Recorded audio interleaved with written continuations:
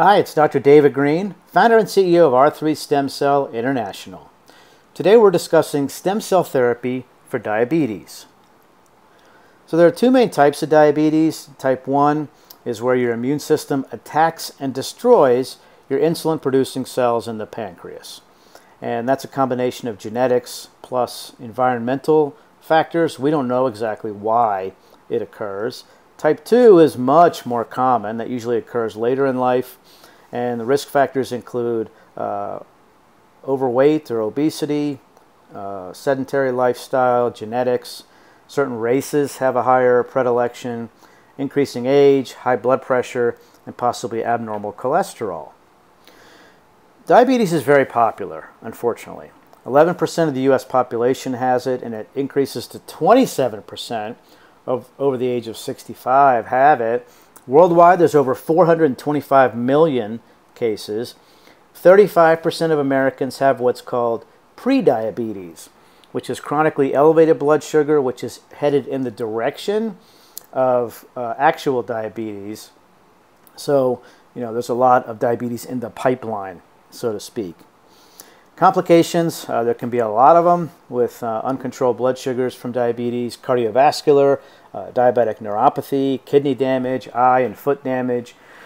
Are various skin conditions, um, hearing impairment, Alzheimer's, dementia, and depression can occur. When you look at the conventional treatment options for diabetes, they are all geared towards controlling blood sugar. And hopefully that can prevent future complications. Type 1 diabetes is managed with insulin, as well as dietary changes and exercise. Type 2 diabetes has a lot more controllable uh, factors um, as far as lifestyle and dietary changes, reducing weight, um, and then non-insulin or insulin medication. There's about, I checked them recently, 10 different classes of non-insulin medications that can be taken orally to help control blood sugars. There's an insane amount of them. Now let's delve into stem cell therapy for diabetes. This is really the new paradigm. It's a non-operative therapy that can actually repair and regenerate tissues that have become damaged. And by and large, we see uh, excellent relief, improved function in patients. This is a low-risk therapy. It's outpatient. Uh, we've seen so much effectiveness. Our protocol for diabetes is pretty much always going to be an IV and oftentimes focal injections because a lot of people come in with diabetes. They also have like diabetic neuropathy. There's going to be some injections for that. It just depends on the individual patient. How do these stem cell biologics work? Well, a lot of people think that if they get a stem cell biologic, it's those stem cells that are going to then turn into the specialty cells in one's body. And predominantly that is not how these biologics work. A lot of it is what's called paracrine signaling, which is cell-to-cell signaling and recruitment of one's own specialty cells and stem cells to help repair and regenerate damaged tissue. New blood flow is amped up, neovascularization is called, and then reduced cell death. It could be neurons, it could be islet cells of the pancreas, or other cells. You want them around longer because there's not enough of them, you want to get as many as possible that are functional. Immunomodulation is a key term specifically for diabetes. It can help modulate when you have a reaction against your own body where you're killing off the cells that regulate insulin and blood sugar. It can help uh, modulate that and stop that process for a long period of time. Um, it can also help reduce inflammation, and we know that inflammation is one of the chronic modicums of disease, it can really help bring that, that down. So I just want to go through a few studies. This is from 2016, Clinical Effic Efficacy of Stem Cell Therapy for Diabetes. A meta-analysis is when authors will accumulate a bunch of studies. In this case, they accumulated 22 studies, and they looked at all the outcomes, in this case from 520 some total patients. Infusion of umbilical cord stem cells provided significantly beneficial outcome in type 1 diabetes when compared to the bone marrow version. And if they noted that if the uh, stem cells were administered early after the diagnosis, it was more effective than uh, later stages. And stem cell transplantation can represent a safe and effective treatment for selected patients with diabetes. Here's another study, mesenchymal stem cells as new therapeutic approach for diabetes and pancreatic disorders. This is uh, from 2018. So they talked about the immunomodulatory action of stem cells, and in particular their ability to reduce the activation of the immune system, could stop the production of basically the body fighting itself and killing off the pancreatic beta cells. Um, it's a very promising strategy for the treatment of the three main pancreatic disorders diabetes, pancreatitis, and pancreatic cancer. Due to, the, due to the immunomodulatory and pro-survival properties, they could be used to prevent disease onset or as a cure to prevent pancreatic tissue um, damage. So when they did this, they put together a great diagram you see on the left with those three disorders. And let's just focus on the diabetes one, where they talked about the immunomodulation, where it can stop the body from fighting itself, regeneration of those islet cells, as well as more cells differentiating into the insulin releasing cells. So it really can help modulate one's own blood sugar. So this was a study looking at stem cell secretome as a new booster for regenerative medicine. For those of you who are not familiar with the term secretome, an example of a secretome is an exosome. Exosomes have gotten very, very popular in regenerative therapies. We use them at our clinics uh, internationally, such as in Mexico. And they are not cells, they are proteins. So, what their conclusion was as a cell free way for regenerative medicine therapies, stem cell secretome, i.e., exosome, has shown great potential in a variety of clinical applications, including preventing cardiac dysfunction, neurodegenerative disease, type 1 diabetes, hair loss, tumors, joint osteoarthritis. So, long-term effect and safety of Wharton's jelly-derived mesenchymal stem cells on type 2 diabetes. This study, fantastic.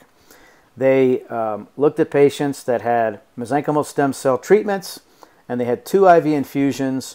Um, the mean cell counts were 2.6 times 10 to the 7th.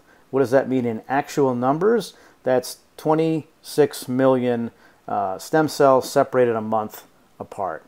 So they looked at postprandial glucose as well as hemoglobin A1C measurements, and they followed them for up to two years, and they were statistically significantly lower. The insulin usage and fasting C-peptide were also improved, and the conclusion that was transplant of umbilical cord MSCs, mesenchymal stem cells, for type 2 diabetes is not only safe, but it is clinically effective. Here's one on amniotic stem cell transplantation for type 2 diabetes. This is a small study. It was, it was only four patients with type 2 diabetes who were not having a good time controlling their blood sugars. When they used amniotic stem cells, they showed the glycemic control improved dramatically. And this was just one treatment, and they followed them up for three years. And the results suggested that one plausible therapeutic strategy improving glycemic control by increasing insulin sensitivity uh, could be seen with the amniotic stem cell therapy. So, you know, I look up so many studies on a regular basis. I could include many, many more, but I just want to give a sampling of studies showing that, you know, stem cells can be very effective for diabetes, whether it's type 1 or type 2. There are many small studies, early clinical trials. Our own experience has been fantastic showing stem cell therapy for diabetes is not only very, very safe, but typically very effective. We have never seen a rejection reaction. We've never seen a deep infection. It appears that high stem cell numbers are necessary. If you look at a lot of the studies that I didn't show, um, they do very high numbers. I showed you one that was 26 million given twice. Um, but for a lot of other conditions that have immune type of appearances like diabetes or rheumatoid arthritis where the body's fighting itself just you need high numbers of cells. And we offer anywhere from 30 million upwards of 200 million um, but high stem cell numbers do matter. And the combo is what we've seen to work best with things like diabetic neuropathy for iv and injection. Um, umbilical cord mesenchymal stem cells give fantastic results just like the autologous. So I do want to point this out. Our center offers um, what's called mesenchymal stem cell therapy. and also includes hematopoietic stem cells. What we do not offer is embryonic stem cell therapy. If anybody says to you, you should get an embryonic stem cell therapy for your diabetes, or if they mention something called induced pluripotent stem cell therapy, you need to run away. Those are not ready for prime time anywhere by a long shot. All right, those are still in the lab trying to figure out how to prevent the body from rejecting those, how to prevent them from forming tumors, where we haven't seen either of those for mesenchymal stem cells. All right, that's what we use. That's what's been shown to be safe, effective, and non-tumorigenic. So let's talk about our treatment program internationally. We have several clinics. One of them is in Tijuana. We have another one in Mexicali, and we have one upcoming in Cancun. The one in Tijuana is only 20 minutes from the San Diego airport. We've had done we've done over 200 procedures in the past year alone. Um, the process starts with a free phone consultation with one of our licensed, experienced stem cell doctors. Patient concierge representative will be, will be dedicated to you to assist with everything medical record, uh, obtaining those, uh, travel logistics. We will provide transportation from the airport and San Diego to the clinic and back. Let's talk about the cells for a minute because anybody who knows anything about stem cell therapy knows that a lot of the magic happens at the lab. So we've always been extremely particular about who we work with. GenCell is the lab in Mexico City. They have a pristine safety record now for seven years. Uh, their quality assurance is actually more stringent than what you see with the FDA. Um, we have several videos on our website looking at quality assurance and showing you the certificate of analysis and you know what they test for. The umbilical cord stem cells in Mexico are allowed to be cultured, unlike the U.S. We don't need to use preservative, so what you end up with is uh, a biologic that has very high viability, over 95%, and extremely high potency because you culture them, but the lab doesn't go past the fifth generation. So that means they're very pure, potent, and functional. Most labs internationally won't tell you this, but they culture it so much, they go way past the fifth, 10th, 15th generation. Those stem cells have high numbers, but they're not functional anymore. Uh, we've received a lot of awards lately. This one recently, USA's leading regenerative therapy services provider. So we've brought the same quality and consistency and expertise to our international clinics. Um, our stem cells uh, start at only $2,975 for 30 million stem cells. Um, for an extra 20 million to make it 50, it's only an extra $1,000. And we have procedures where patients can come back several times a year and get a really good uh, deal for the investment uh, because you know these are not going to be one and done. You are going to need repeat procedure.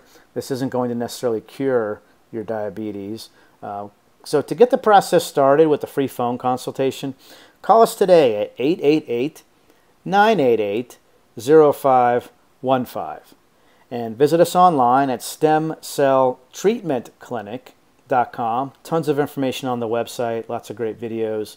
Um, we've been featured all over the place. We've been around for eight years now, one of the longer um, clinics. We've uh, really solidified our protocols and what works um, and taken the extra mile uh, with our patients to understand what's going to help them the best. All right. Thank you very much for watching, and we look forward to hearing from you.